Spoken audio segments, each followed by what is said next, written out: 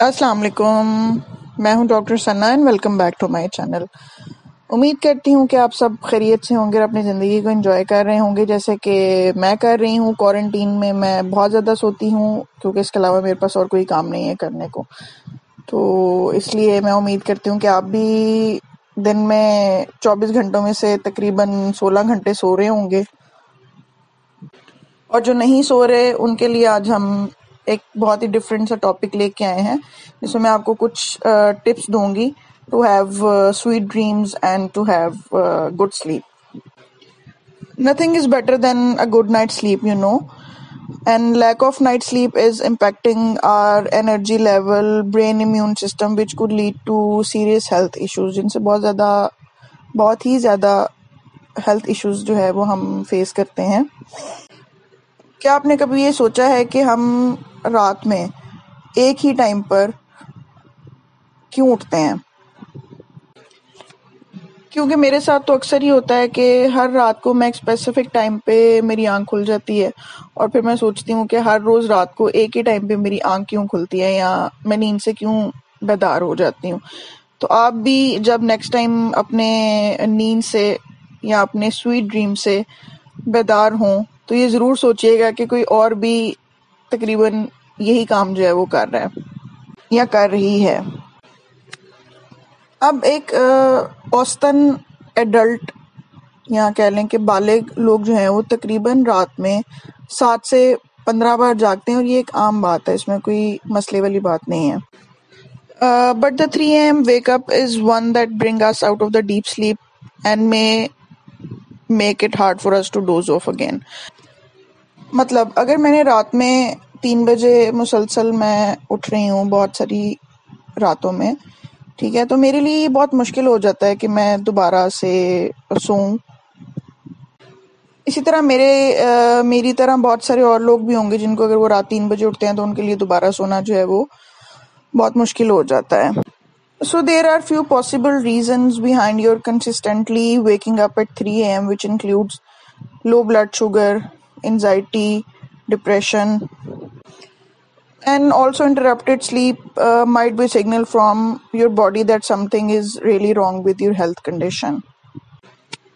मिसाल के तौर पर रात को मुसलसल और बाकायदगी से जागना जो है वो सिम्टम हो सकता है स्लीप एपनिया का When breathing is briefly and repeatedly interrupted during sleeping. लेकिन अगर आपको कोई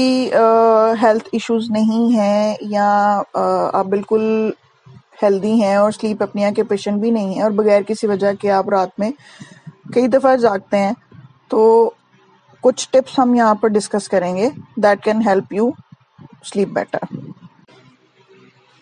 सबसे पहले तो sleeping on the left side can improve your digestion and blood circulation के मतलब अगर आप लेफ़्ट साइड पे सोते हैं तो आपकी डाइजेशन बेहतर होगी ब्लड सर्कुलेशन बेहतर होगा उसके अलावा choosing a good pose for your sleep also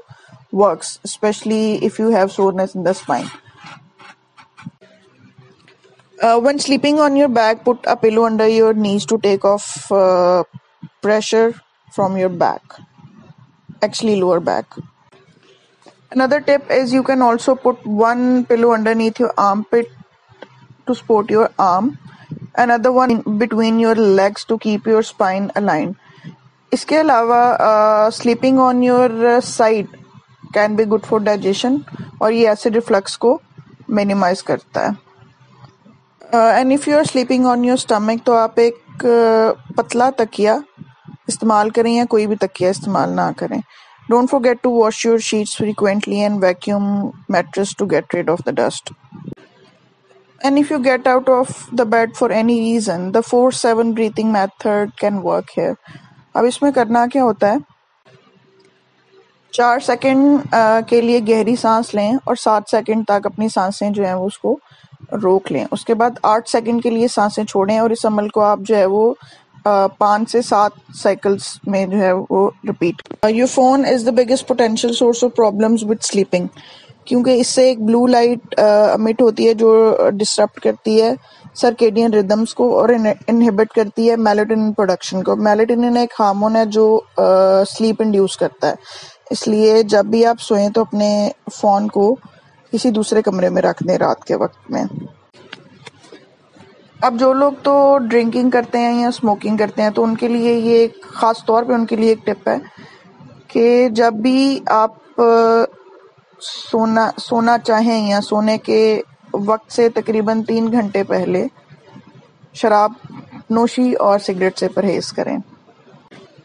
क्योंकि रात के वक्त शराब, नोशी और सिगरेट पीना